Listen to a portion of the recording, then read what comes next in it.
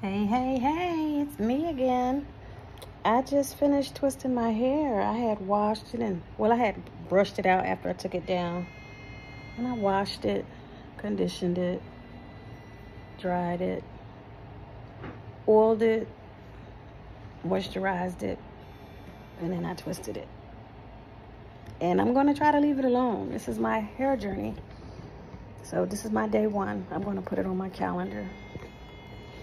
I invite you to join me. I know many people feel like, I don't know what to do with my hair. I'm natural. Been there for years. I initially wanted to go natural back in 2000 when my sister was natural. She passed that year. But her hair was short. It was cute. It fit her face. It was beautiful. It took me many years later to do it. It started with me. How do I feel about my hair? How do I feel about my hair? I love it. But then I'll see somebody with big old pretty curls and soft hair, hair look like baby hair. And I would say, Lord, why didn't I get that kind of hair? It wasn't in my description. He gave me what he wanted me to have. So it was my job to love him, love me, and love what he blessed me with. My hair is a blessing. I've cut it completely off. Chop, chop more than once, a few times through the years. And it grows back and it grows thick. And I'm 52. And these baby hairs, while everyone is laying them, I'm leaving them alone. They there hanging out. You can call them baby hairs or call them grays. That's my crown. Yep, I'm not dying it anymore. Yes, I'm 52 and God is able. So this is a journey. I'm going to keep it tied up. So for that person who feels like, I don't know what to do with my hair, start out with a few twists.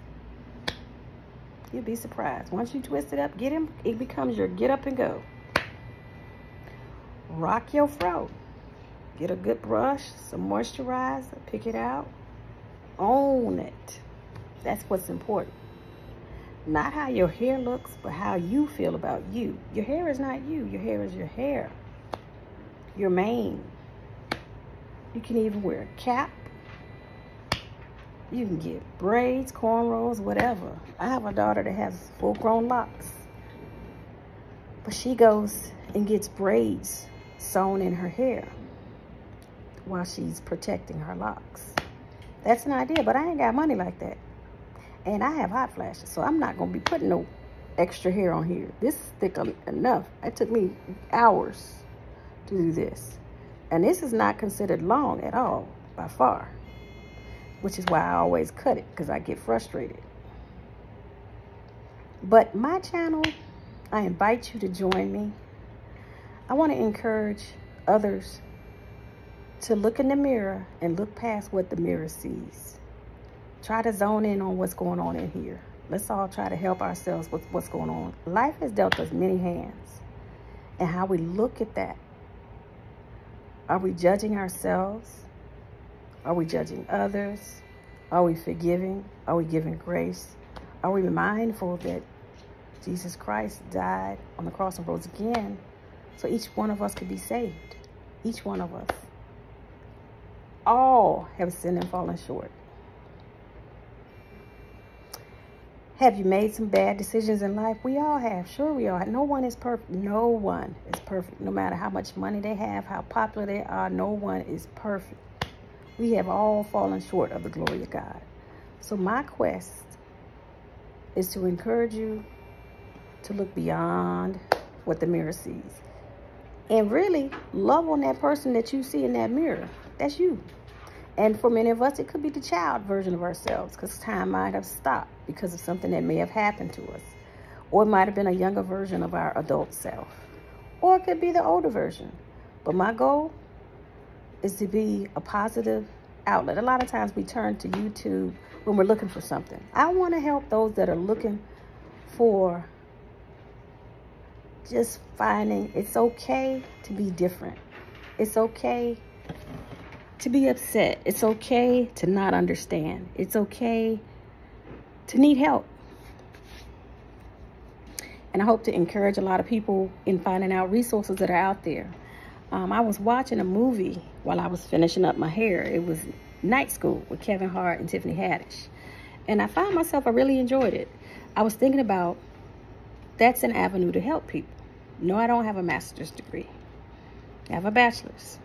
But I know there's a lot of people that have had problems with the law or problems with their past or things that they may have experienced that has troubled them to the point that they may feel, oh, I'm not eligible for that. I don't have the skills for that. I don't have the training for that. But there are actual programs across the country to help us that many of us don't know about. So I definitely will be trying to plug in that kind of information too. Um, my role as a mom first is to be an encourager, a, a cheerleader for my team, my kids. But um, this this channel is to encourage us all, even myself, even myself. Uh, my veterans, I'm a veteran. Uh, my Marylanders, my Floridians, my North Carolinians, people from all over. I'm related to so many people across the country. So if you happen to be related to me, hey family, we're all related by the blood of Jesus Christ. So I just wanted to share this to encourage you that this too shall pass. Commit that to memory. We go through some things. Sometimes it's health-wise. It could be on the job. It could be with our families. You never know. Remind yourself to remember those three words. This too shall pass. Actually, it's four. I don't know why I said three, but it's four. Those are some good, strong words to remember and commit to. So wherever you are, whether you're rich and wealthy, I'm not, definitely. That's not even a goal. My goal is heaven. But I want to do a good work while I'm here on earth to help others in any way I can. All right, it's been fun. It's been real. Hey, hey, hey. I hope that you enjoyed this this awakening in my spirit. God bless you all.